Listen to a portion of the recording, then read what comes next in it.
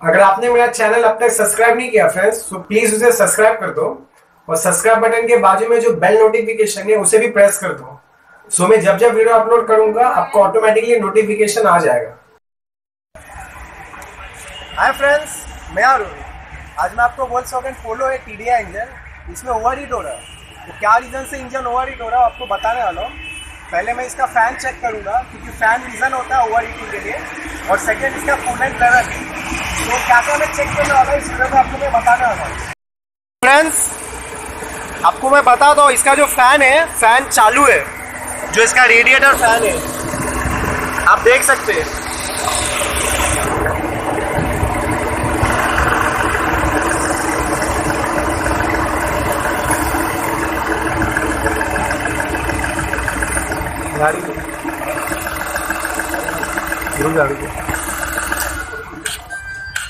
Friends आप देख सकते हैं जो इसका कूलिंग फ़ैन है फ़ैन चालू है। सो so, इसमें फ़ैन का कोई प्रॉब्लम नहीं है। नेक्स्ट हमें इसका कूलेंट लेवल चेक करना पड़ेगा। सो so, फ्रेंड्स आप देख सकते हैं कूलेंट वाटर है जो लीकेज हो रहा है। सो so, इसके रीज़न से ही गाड़ी दो से चार बार ओवर हीट हो गया। सो ये कहाँ से लीकेज हो रहा है फ्रेंड्स बता दो। इसका वाटर पंप है। वाटर पंप के यहाँ से लीकेज हो रहा है। क्योंकि ये पोर्शन पे वाटर पंप भी लगा हुआ रहता है, जो वाटर सर्कुलेशन के लिए काम करता है। सो अभी ये मैं रिप्लेस करने वाला हूँ। इसके लिए बताऊँगा आपको क्या क्या प्रोसीजर इसमें यूज़ करने वाला हूँ मैं।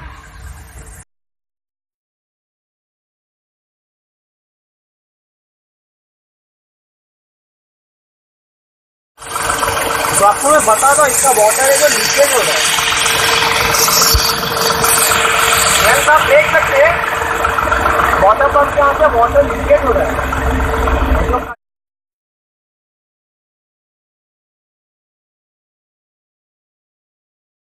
कूलन का कलर ग्रीन है। बट वोल्स के जितने भी ब्रांड्स है फ्रेंड्स में रेड कलर के कूलेंट आते हैं। जो, ये तो मालूम नहीं कस्टमर ने क्यों इस पे ग्रीन कूलेंट डाला है। बट हम जब अभी नया डालेंगे तो इसमें रेड रेड वाला कूलेंट डालेंगे।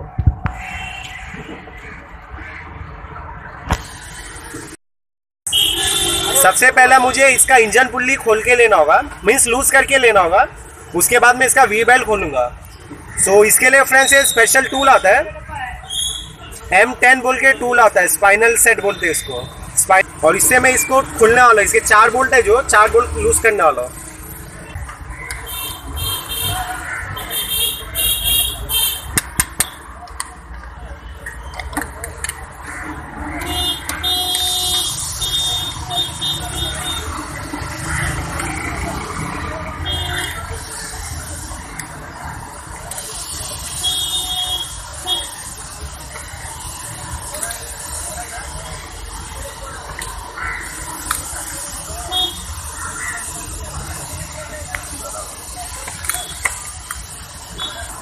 अभी मैं इसका वी बेल खोलने वाला हूँ।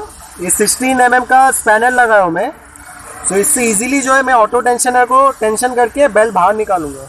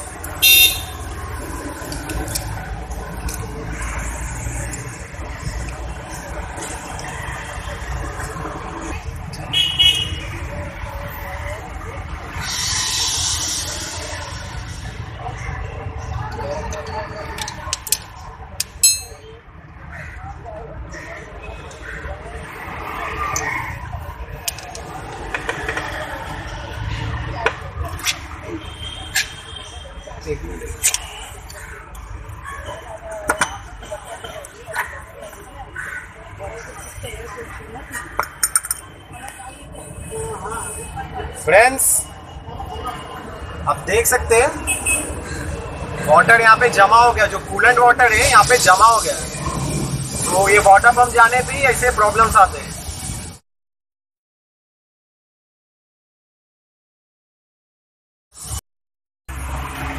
तो फ्रेंड्स अभी मैं इसका टाइमिंग कवर खोल रहा हूँ।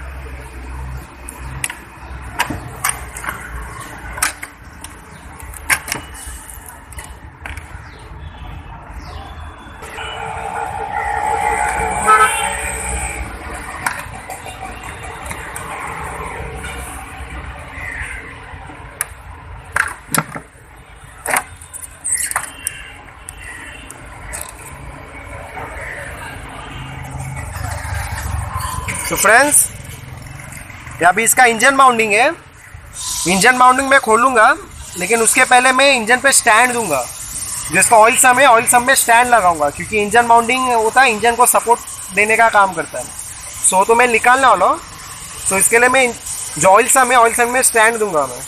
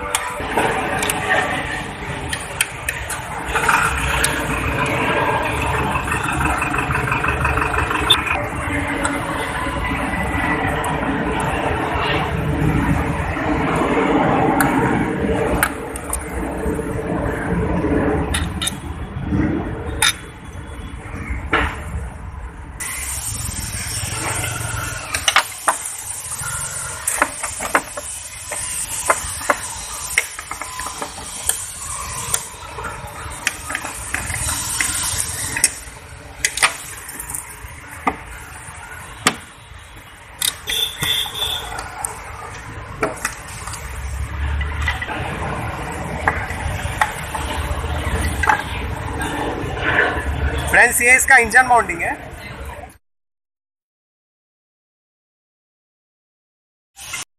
फ्रेंड्स मैं फाउंडेशन खोला हो बता आपको। सो so, इसका फाउंडेशन फाउंडेशन का ब्रैकेट भी है मीन्स इंजन माउंटिंग का ब्रैकेट भी है ये भी खोल के लेना होगा। उसके बाद है जो हम टाइमिंग कवर निकालेंगे।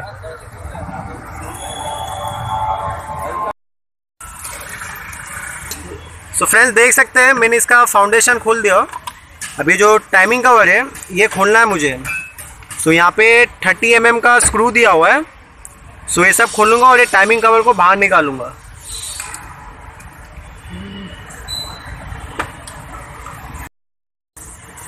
आप देख सकते हैं ये इसका वाटर पंप है। ये पोर्शन पूरा ग्रीन ग्रीन हो गया है। ग्रीन कलर इसके लिए हुआ क्योंकि उसका कूलेंट यहाँ से लीक हो रहा था। आप देख सकते हैं पूरा रश पकड़ गया यहाँ पे। सो so, यही रीज़न है जो वाटर पंप है वाटर पंप लीक हो चुका हमारा।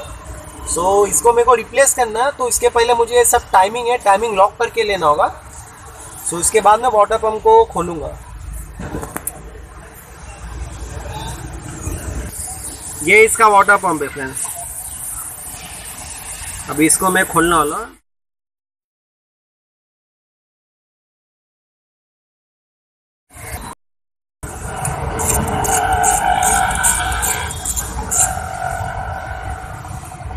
हूँ।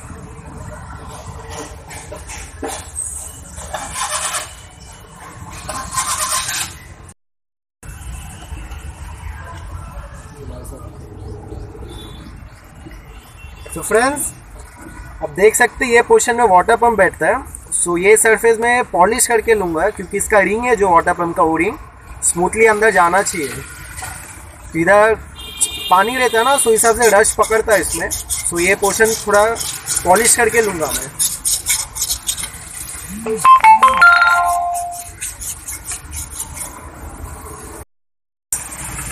आप देख सकते हैं मेरा जूना वाटर पंप है। यहाँ से पूरा रस्टी हो गया था सो इसके वजह से ये लीकेज चालू होने लग गया। इसके ओरिंग सब कट गए थे। ये देखो डैमेज हो गए थे सो यही रीज़न था इसको लीकेज करने का। सो मैं अभी नया लेके आया वाटर पम्प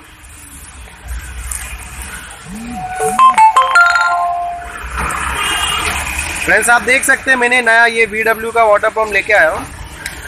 ये देखो फ्रेंड सो so, ये देख सकते हैं ऐसा रहता है ये इतना अच्छा कंडीशन में रहता है बट अपना वन लाख के ऊपर चल चुका है। सो so, ये तो जाना नॉर्मली है ऐसा कुछ। सो so, अभी ये इंस्टॉल करने वाला फ्रेंड्स में।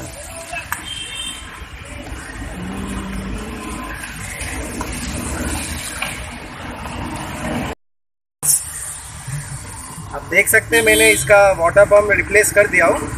सो so, उसके पहले मैंने सब कैम शाफ्ट है जो लॉक करके लिया हूँ। और इसका जो हाई प्रेशर पंप है, उसको भी लॉक करके लिया हूँ। कि वो टाइमिंग है टाइमिंग लॉक करके लेना होता है। तो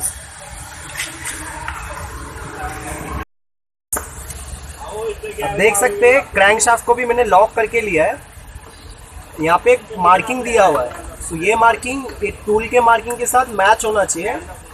तब जाके जो पिस्टन हमारा टीडीसी पे आएगा। तो उसी समय मालूम पड़ जाता है जो अपना टाइमिंग है, वो सेट हो गया इंजन का टाइमिंग है। आप देख सकते हैं, इधर मार्किंग दिया हुआ है। टूल में भी मार्किंग दिया हुआ है पुल्ली पे भी मार्किंग दिया हुआ आपस में मैच होना माँगता है सो इसके लिए मैं स्पेशल टूल लाया हूँ। सो क्या मुझे इजीली टाइमिंग मिल जाएगा?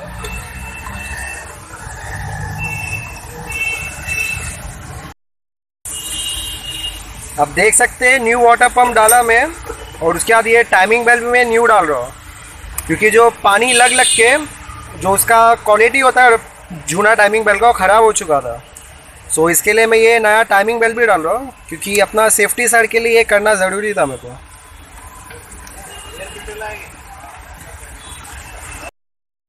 So friends timing belt easily बिठाने के लिए ये कैम पुल्ली का तीन बोल्ट लूज़ करके लेना होता है। तो क्या अपना टाइमिंग बेल्ट इजीली बैठ जाएगा रिकॉर्डिंग भी कर रहे हैं तो फ्रेंड्स आप देख सकते हैं मैंने इसको लूज़ किया हो सो दैट ये जैसा चाहिए वैसा एडजस्टमेंट हो जाएगा और इससे क्या बेल्ट इजीली बैठ जाएगा। तो so, इसके लिए फ्रेंड्स ये लूज़ करके लो। तो फ्रेंड्स तो आपको अभी बता दो टाइमिंग बेल्ट कैसा इंस्टॉल करने का। इजी ट्रिक बता दो आपको कैसा इसको फिट करने का।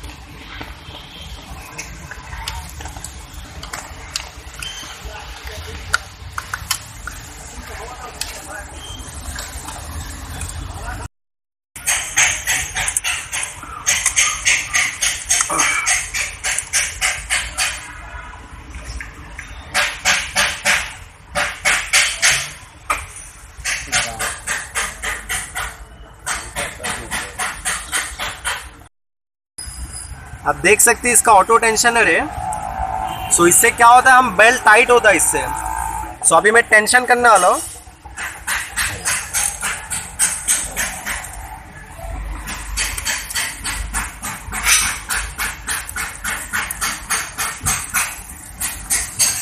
देख सकते हैं फ्रेंड्स ये जो एरो मार्क है, ये दोनों के बीच में आना चाहिए। ये कंपनी ऐसे ही रिकमेंड करती है विच मीन ये जो बेल का टेंशन है, वो एकदम परफेक्ट है।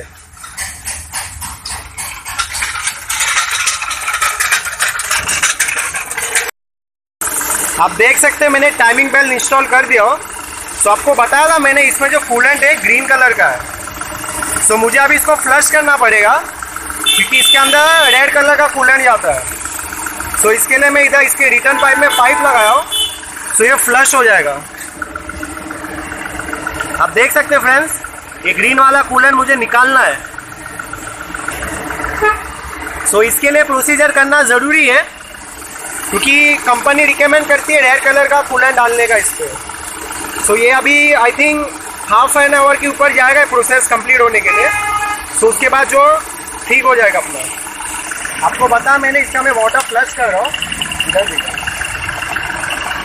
एक चीज़ ध्यान देने का फ्रेंड ये पाइप से हम रिटर्न पानी निकाल रहे हैं। ये डब्बे में डब्बे में पानी कम होने नहीं देने का। इसको फिल करते रहने का। जब ये पानी अंदर जाएगा, तब जाके यहाँ से बाहर जब ये पानी हम अंदर डालेंगे तो यहाँ से जो ग्रीन कलर का कूलेंट है वो बाहर आएगा। तो इसको हम पानी रिफिल करते ही रहने का, जब तक यहाँ से वाइट कलर का पानी ना आ जाए।